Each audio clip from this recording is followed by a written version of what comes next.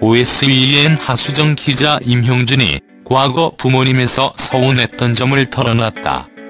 임형준은 24일 오후 방송된 KBS ETV 연예가 중계에서 내가 10년간 무명 생활을 했는데 형은 대기업 직장에 들어가서 연봉도 받았다며 과거를 회상했다.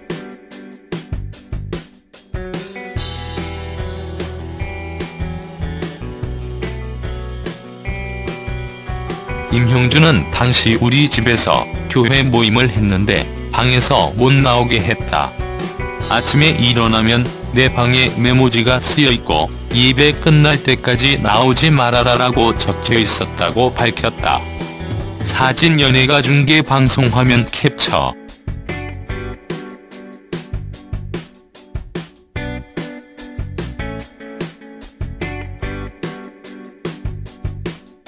하수정 기자